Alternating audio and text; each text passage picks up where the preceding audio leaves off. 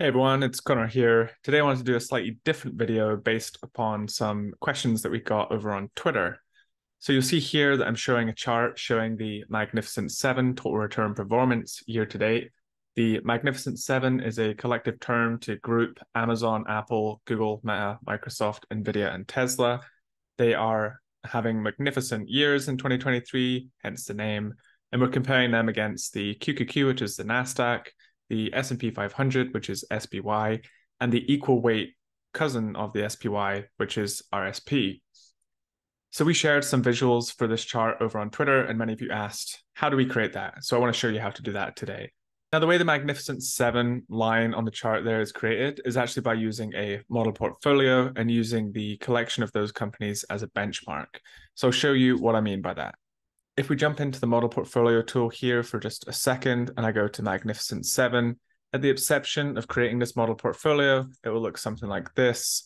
You'll be able to add weightings for these stocks, pick a start date, initial value, a currency, um, and add some other data in there as well, such as advisor fees. We're not doing any of that. This is purely just a benchmark. We don't want to extract fees from it.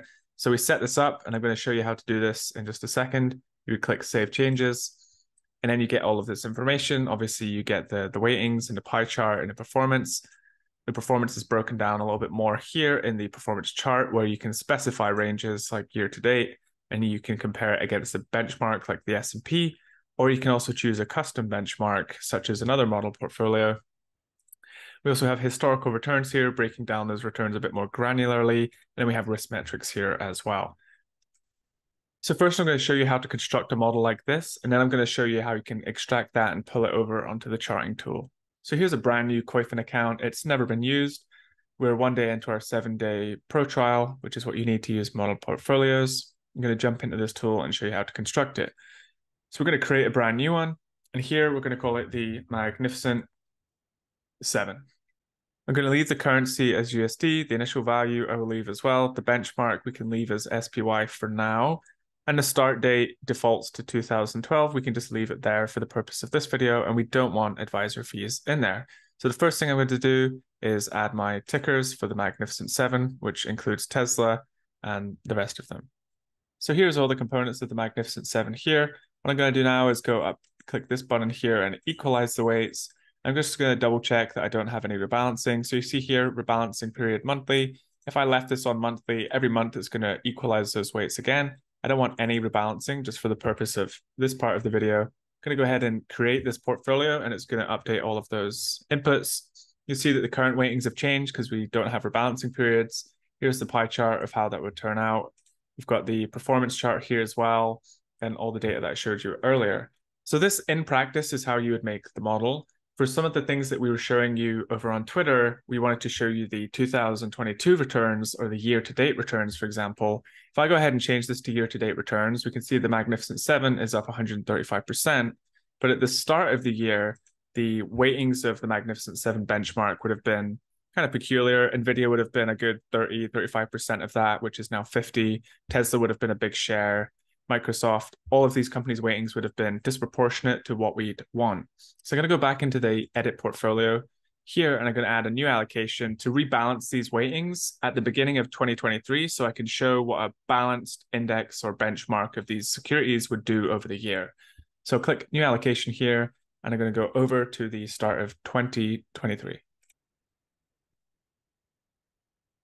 So now that I've selected that, I'm just going to ensure that these are equalized again, and I'm going to save those changes. And if you remember, it was 135% performance. When we go on the performance chart this time, year to date, it's slightly less. It's 102, so there's less influence from NVIDIA being weighted so heavily. So this is kind of the setup that I would want. And if we wanted to show the returns for a specific period like 2022, for example, we can go in here and we can create a new allocation specifically for that year for the stocks to rebalance before 2022 rolls in and we could rebalance them again in, in 2023 and, and all that kind of stuff. Now, moving on to how you can pull these models into charts, I'll explain how you can do that. So right now there exists a feature, we like calling it a feature. It's also a bit of a bug in Koyfin where you can pull these model portfolios into other areas of the platform. In the future, this is something we're building for right now. We plan to add model portfolios to watch lists, to charting and other areas. But for now, in theory, they're not really supposed to be used throughout the platform. So what you'd have to do in this instance is create a second model portfolio. I've just went ahead and created a 50-50 portfolio here, nothing complicated. I'm going to go into the edit portfolio here, and I'm going to choose a benchmark, but I'm going to choose a custom benchmark, which is going to be the Magnificent 7. And we'll see why I've done this in just a second. So I'm going to go ahead and save those changes. And what that does is it just basically gives me the Magnificent 7 as a benchmark against this portfolio. So we can see that here. It's obviously doing way better than a 50-50 portfolio. But the feature slash bug that I'm alluding to here is if I go back to the summary page of this 50-50 portfolio, whenever you have a custom benchmark, that custom benchmark is going to be clickable like this. You'll see how it annotates when I when I hover over it. And if I go ahead and click the Magnificent 7, it's actually going to pull it directly into a Koyfin chart like this. And you'll see some things that don't quite add up. It's not really supposed to be in here. For example, I can't pick new data series. Whenever I delete one, I can't add it. And there'll be certain things that you can't do in here that you would expect to of a, a regular security. The way around that is to create a custom chart template. So if I want to show total returns, for example, I'm going to deselect Magnificent 7 here and just create this using a regular security.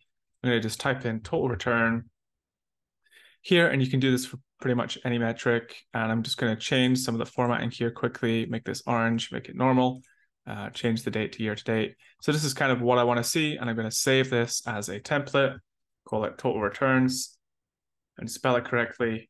There we go, save as new. Now this kind of gets around that problem of when we put the model portfolio into the chart, Koyfin says, I don't really know what to do here because it's not supposed to be in here. Um, I'll show you what I mean by that in just a second. So let's go back to model portfolios. Let's go to 50-50. Let's click on the custom benchmark that we made and jump into the chart tool. Now we're back to where we were, but we have a saved template. So if this doesn't load on a template, you can obviously just change it to the one you've created. Um, I can't add anything to this, but I can edit it and change it. And this is kind of the view that we want. So now we have the Magnificent 7. We have it set out for year to date. At the beginning of 2023, this was an equally weighted benchmark, and this is the only period we're looking at, so it's totally fine. And I'm going to go ahead and add some more securities to it, like the QQQ, the SPY. I'm just going to group these axes as well, and then the RSP. And there we have replicated that chart, and we can add custom labels to this as well. If I go into the settings, we can add those labels back on and, and change the formatting of the chart as well, like this. So that's how you'd recreate these charts in Koyfin. Well, technically, it's a, a bit of a feature and a bug to drag those into the charting tool. This is something you're going to be able to do in Koyfin pretty soon. But for now, there is a there is a workaround, a handy little hack that you can do that yourself. For those interested, this is how you do it. I hope that helps. Um, as always, you can reach out to us on Koyfin Charts at Twitter. You can email the help desk, or you can reach out to any of us individually or drop a comment below. Thank you.